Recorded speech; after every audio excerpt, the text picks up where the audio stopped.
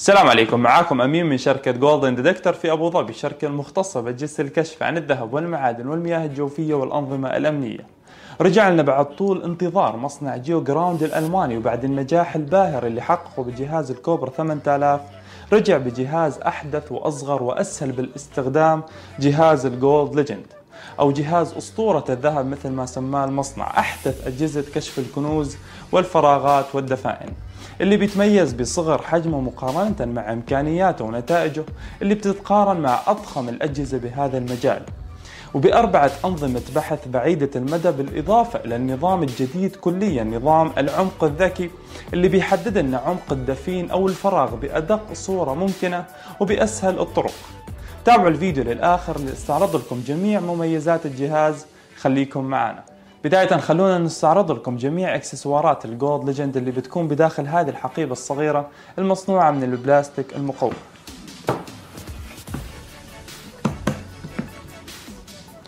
بداية طبعا بيكون عندنا دليل المستخدم بالإضافة لبطاقة الضمان المقدم من مصنع Geo Ground على جهاز ال Gold Legend لمدة خمس سنوات. عندنا أيضا الوحدة الرئيسية للجهاز. بهذا الحجم. مصنوعة طبعا أيضا من البلاستيك المقوى مضاد للصدمات بشكل كامل. عندنا أيضا السوبر سنسور الخاص بالجهاز أو المستشعر الرئيسي. مزود طبعا بضوء LED للدلالة على الأهداف اللي بيلتقطها الجهاز. عندنا أيضا مقبض الجهاز. وعدد اثنين من الأنتينات أو المستشعرات الهوائية. وبالاخير بيجي معنا شاحن منزلي للجهاز. هذه جميع إكسسوارات الجهاز طبعا بشكل مبسط. الجهاز ما في إكسسوارات كثير. سهل الاستخدام سهل التركيب. خليكم معنا نستعرض لكم أنظمة البحث وأعدادات الجهاز. طبعا تركيب الجهاز نفس ما ذكرنا جدا بسيط وسهل للمستخدم. أول شيء بنركب مقبض الجهاز بأسفل الوحدة الرئيسية بهذا الشكل. بعدين بنركب الأنتينات.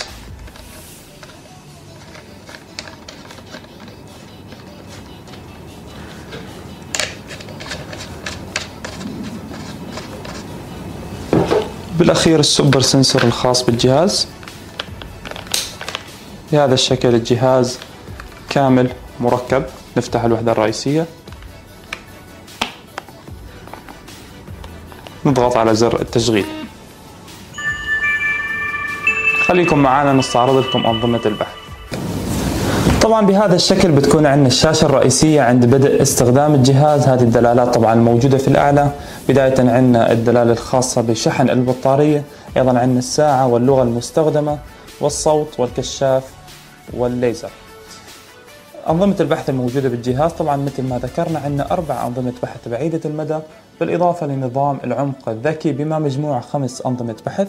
النظام الأول بعيد المدى النظام الاستشعاري بعيد المدى. عندنا أيضا الوضع الحر أو ال free frequency اللي بيمكن الجهاز أو بيمكن المستخدم من وضع تردد معين لقطعة آه، مرغوب بالبحث عنها بواسطة الجهاز وبيبدأ الجهاز بالبحث عن تردد هذه القطعة. عندنا أيضا العمق الذكي اللي ذكرناه اللي بيوضح لنا عمق الدفين أو عمق الفراغ بشكل دقيق جدا. النظام الثالث عندنا الأيوني أو النظام ال ionic. والنظام الرابع نظام ال bionic ننتقل لإعدادات الجهاز. عندنا بداية إعدادات الوقت لتعديل الوقت على الجهاز. إعدادات الشاشة مثل أول شيء عندنا وضع السكون لتوفير آه، أو حفظ الطاقة المستخدمة أو المستهلكة من البطارية. عندنا أيضا إعدادات السطوع الخاصة بالشاشة الرئيسية إذا بدنا نخفف أو نرفع السطوع وعندنا بالأخير إضاءة الحساس أو السوبر سنسر. هذه الإضاءة إذا بدنا نشغلها أو نوقف تشغيل. عندنا أيضا الإعداد الثالث الصوت لتخفيض أو رفع الصوت الصوت الخاص بلوحة المفاتيح الصوت الخاص بالجهاز. هذه الإعدادات كلها متوفرة في هذا الخيار. الإعداد الرابع طبعا والأخير هو إعدادات اللغة. طبعا الجهاز متوفر في جميع اللغات في العالم بما فيها طبعا اللغة العربية واللغة الإنجليزية. وعندنا بالنهاية معلومات الجهاز مثل, مثل ال serial number أو إصدار الجهاز أو المصنع. نفس ما هو موضح أمامكم. ننتقل لأول وضع بحث وهو الوضع البحث الاستشعاري بعيد المدى. نضغط أوكي. طبعا قبل البدء باستخدام النظام الاستشعاري بعيد المدى لازم نتأكد من فتح الاستشعارات الهوائية للأخير لإشارة الجهاز حتى تكون أقوى وأبعد لجميع الأهداف. طبعا إعدادات النظام الاستشعاري بعيد المدى بداية عنا بيمكننا الجهاز من اختيار نوع الهدف المرغوب البحث فيه. نوع الأهداف طبعا الموجودة في الجهاز البرونز تجويف أو الفراغات. طبعا النحاس جميع أنواع المعادن الموجودة الألماس والأحجار الكريمة أيضا. عندنا أيضا خام الذهب كنوز الذهب عروق الذهب وعندنا الحديد والبلاتين والفضة. هذه أنواع الأهداف. على سبيل المثال بإمكاننا نختار حاليا عروق الذهب. ننتقل لوضع الإعدادات التالية هو التربة نوع التربة. طبعا آه، مهم جدا اختيار نوع التربة الصحيح أثناء استخدام الجهاز. نوع التربة الموجودة عندنا سواء كان معادن عالية معادن قليلة أو تربة طبيعية صخرية رملية وأيضا التربة الحجرية والتربة الرطبة ننتقل أيضا للمسافة المراد البحث فيها المسافة الأمامية للجهاز بإمكاننا نختار لغاية 3000 متر.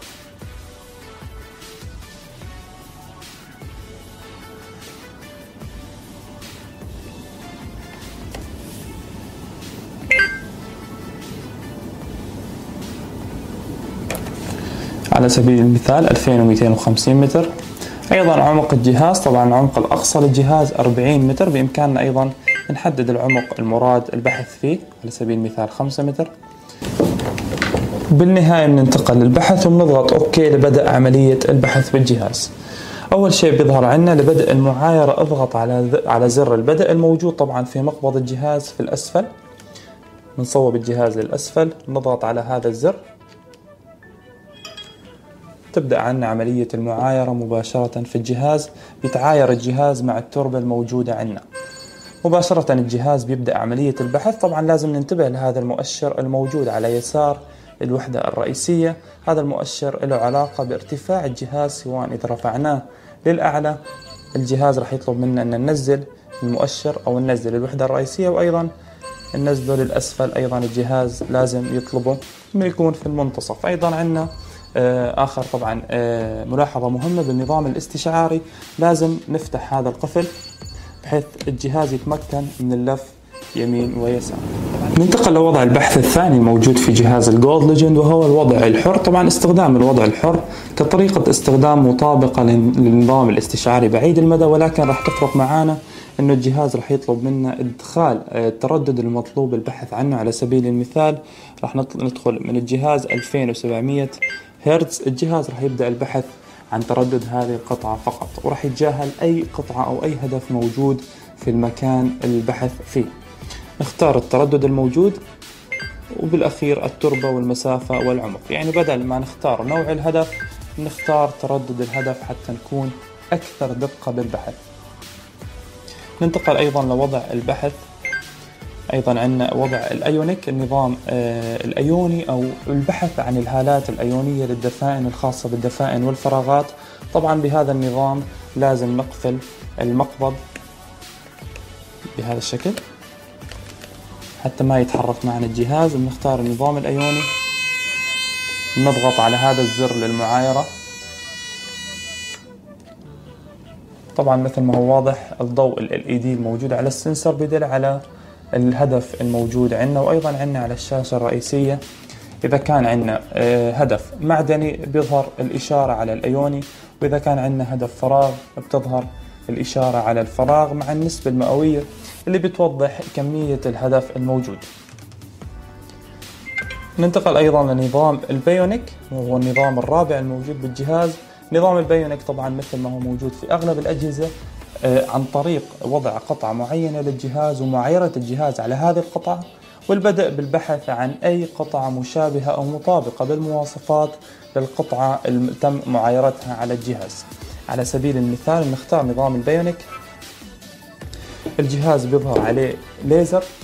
طبعا نفس ما هو واضح ليزر على الجهاز. نصوب هذا الليزر على القطعة المراد معايرتها على الجهاز. على سبيل المثال أنا بدي أبحث عن نفس نوع هذه القطعة بصوب الليزر عليها وبضغط على الزر الموجود أسفل المقبض.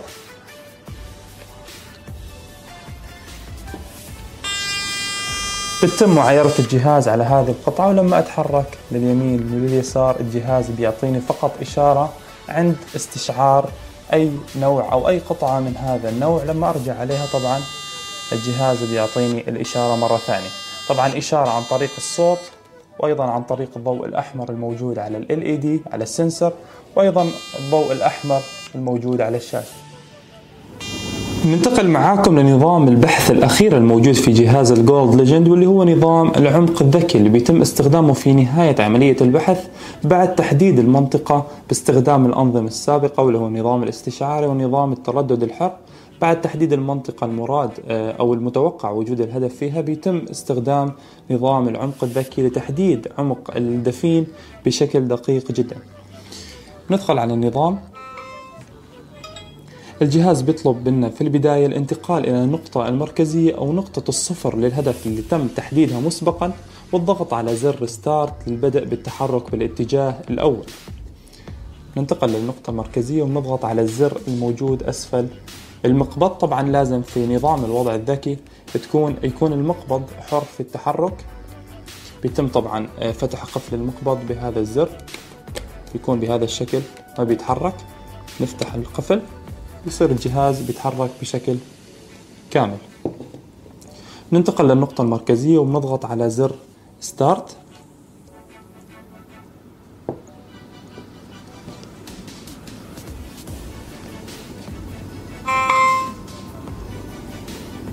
بعد ما ينتهي من التحميل بنبدأ بالمشي خطوات محددة. طبعا كل خطوة مثل ما هو ظاهر على أسفل الشاشة على اليسار عدد الخطوات أو الستبس.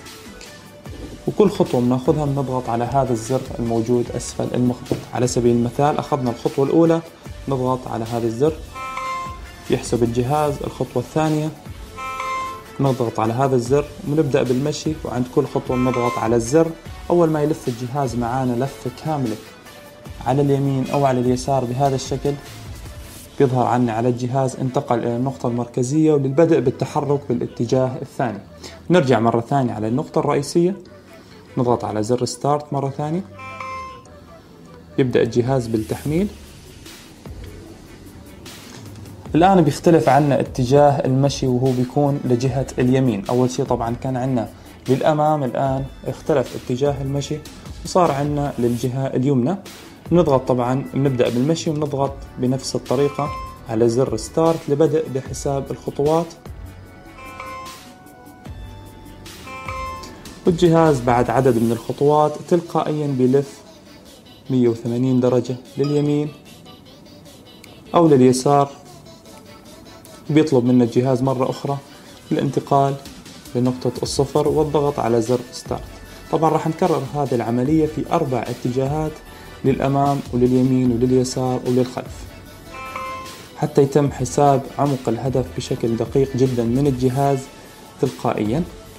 ننتقل طبعا الآن نبدأ بالمشي للخلف. نفس ما هو ظاهر طبعا اتجاه المشي على أسفل الشاشة على اليمين.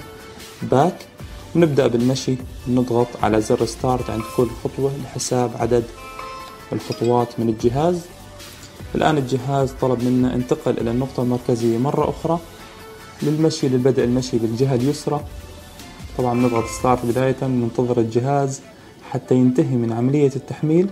هذا بيكون طبعا عندنا الاتجاه الأخير وهو الاتجاه بالاتجاه الأيسر. بيكون عندنا الاتجاه الأخير. نضغط طبعا عند كل خطوة. ستارت طبعا الجهاز بعد عدد من الخطوات رح يلف لليمين أو لليسار. في النهاية الجهاز بيظهر عنا طبعا بعد المشي في أربع اتجاهات بيظهر عنا على الشاشة الرئيسية اضغط على start لحساب الحالة أو عمق الهدف نضغط على زر start الجهاز بيعطينا صورة ثنائية الأبعاد عن الهدف طبعا صورة تقريبية بتكون مع العمق المتوقع للهدف نفس ما هو ظاهر أمامنا 2 متر و10 سنتيمتر. وأيضا على اليمين عندنا نسبة المعدن الموجود بالنسبة للتربة وأيضا على اليسار نسبة عفوا على اليمين نسبة الفراغ الموجود وعلى اليسار نسبة المعدن. طبعا أيضا هذه نسبة تقريبية بتكون ولكن العمق بيكون بشكل دقيق جدا. هذا كان نظام العمق الذكي لأي أسئلة أو استفسارات على جهاز Gold Legend بإمكانكم تتواصلوا على الأرقام الظاهرة أسفل الشاشة أو تزوروا موقعنا الإلكتروني.